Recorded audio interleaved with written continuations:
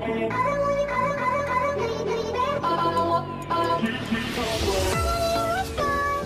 don't want your money, no you don't get to spend